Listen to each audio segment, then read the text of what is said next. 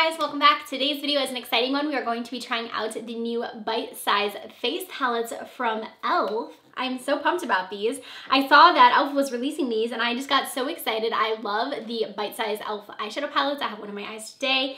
And I really love how quickly they came out with these because sometimes when we find a product that we love, I feel like it takes forever for them to kind of add on to that. And I feel like it hasn't been that long since the Bite Size eyeshadow palettes kind of came into the scene. So I'm excited to see these face palettes. I have all eight of them here to swatch for you guys. We're going to try them out on the face. We're to see what we think. So why don't we go ahead and get started. Okay, so I did purchase these from elfcosmetics.com. I will have them linked down below in case you are interested. And these were $3 a piece, just like the eyeshadow palettes. And they are super cute. They're the same exact size compacts and they just have two colors in them. So some of them have blushes and highlights and then there's a few of them that actually have like a bronzer shade and a highlight in there. So I'm gonna go ahead and show you guys those. I am really sad because one of them actually came quite, ooh, I'm like literally tipping this out. This one came broken. This one is in coconut, and I think this was one of the bronzer ones, so I am kind of bummed about that, that it did come so broken. I'll just have to reach out to e.l.f. I'm sure they'll give me a new one, but I am going to still try to swatch all eight of them just so you guys can still get a swatch of this one. I'm trying to open it now to see if it's like completely broken. So it's really just the highlight that's broken. I feel like I can get used, I don't know if you guys can even really see, but I feel like I can get used out of the bronzer still. I'll kind of just push over everything and then see if I can't just show you guys swatches of everything still because I still feel like I'll be able to use the bronzer side. So to kind of compare, this is the one that I used on my eyes today. It's the Rosewater palette. So they are the exact same size here as far as the compact goes.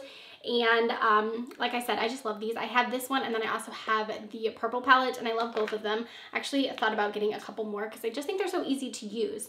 So let's go ahead and I think I'm gonna start with swatching all of them and then we'll kind of try them out on the face. I wanna make note of this because how nice it is that it has like this little peel thing right here to where you can peel up and then the like little sticker comes right off. Sometimes with drugstore products, I feel like getting the actual packaging off is such a process. So I do appreciate that they make it so easy with kind of like the peel up and then it just comes off so easy. Uh, that is definitely a plus for me because sometimes like Wet n Wild in particular has the worst packaging when it comes to trying to get those stickers off. It's awful. Okay, so the first one I have swatched right here is called White Peach. All right, and the next duo, this one here is Watermelon. The next one here is guava. Okay, and this one here is pomegranate. Okay, and then we have lychee right here. All right, this one here is spiced apple. This one right here is cantaloupe. Okay, and the last swatch right here is the coconut palette. So this one I can't show up because it is broken, but we have like the bronzer and then the highlight there. So far, so like with swatches, I feel like they swatch really nicely. We do have some matte ones. Like I didn't know um, what to expect because I didn't really read much on the description. I just kind of threw them in my cart. But some of these like blushes in here are matte and then other ones are shimmer. So that's kind of fun that they included like two different formulas. Based upon swatches of the highlight, they look really wet. Like they're going to be really pretty on the skin. So I'm I'm really excited to go ahead and start trying some of these out. Obviously, I can't test them all out on the face, but I am going to show you guys quite a few of them so we can see kind of how they perform. So I do want to try out the bronzer shade from the Coconut palette just because um, that one is like one that I feel like I could use as a bronzer. Unfortunately, it is broken, so I am not going to be able to pick it up for you guys, but I am going to just grab a little bit. And it did seem pretty pigmented, so I am going to just kind of tap off my brush here. I'm just using this angled brush from Sigma. It's their large angled contour. And I am just going to start to tap this onto the face here. And this shade had a tiny, tiny bit of reflect in it, but it wasn't anything intense, like nothing that's going to be like glittery or anything on your face. So I'm kind of just buffing this into the skin. It's a little bit deeper than I normally do for like a bronzer. It has more of like a reddish tint to it, but I don't think it's like a bad color for me. I prefer something a little bit warmer, but that's kind of what's great about this is that they did come out with eight different colors. So you can definitely find one that kind of matches your preference. And I wonder if these do work out well, if they'll end up coming out with more of them because I think they did um, a second launch of the bite-sized palettes. I want to say there was like a few colorful ones, maybe not, but I definitely think they are going to come out with more of those consider how much people like them. So here is what it looks like on the skin. It seems to be blending out pretty nicely. I don't think it looks like patchy or anything like that.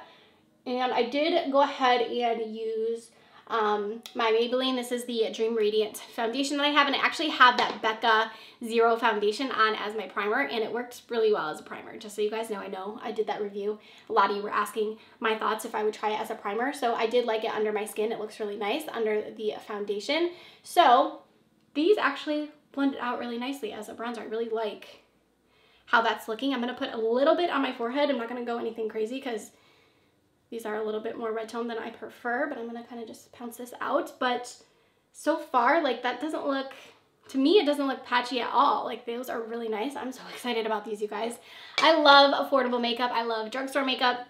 I love finding like great products for affordable prices and the fact that these are like $3 it just has me so excited. So let's go ahead and try out some of the blushes. I want to try out like two of them, I think. So I love a good orangey blush, so I want to try this one out first. So this one is part of the Cantaloupe. This one has the highlight and then like this orangey blush. And I want to try this one just because I feel like I could layer this underneath something else.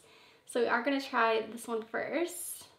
And I'm hoping these aren't like too, yeah, they're my kind of formula. Like they're not too intense, at least with that one.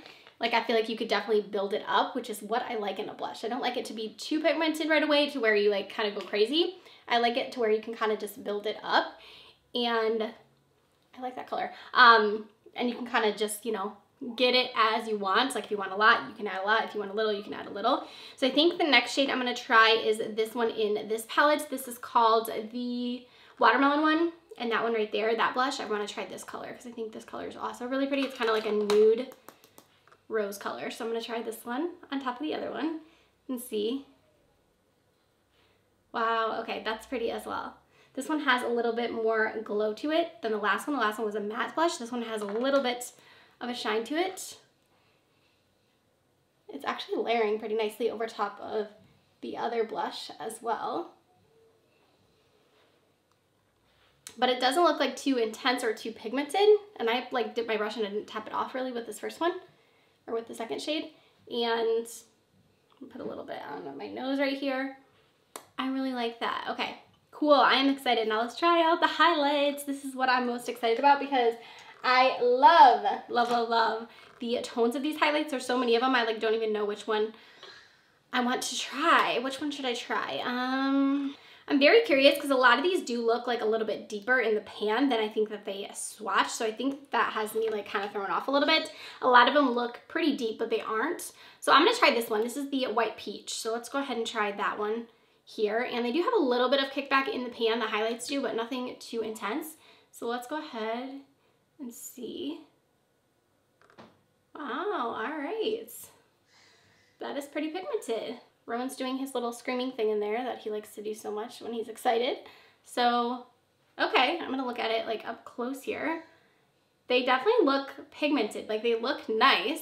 I don't think it looks too glittery looking at it on my face. Like I don't think it looks too um, too glittery. Sometimes with the drugstore highlights in particular, I feel like they look like chunky almost on the skin, but I don't see that with this one. Like it looks pretty, pretty good. Okay, so let's layer up. I'm gonna try another one. So I'm gonna try the other one in this Cantaloupe palette because this one looks really nice. It's like a more of an icy color. Let's go ahead and add this one here just on, oh wow. Okay, yeah, that one is blinding. Holy moly, okay.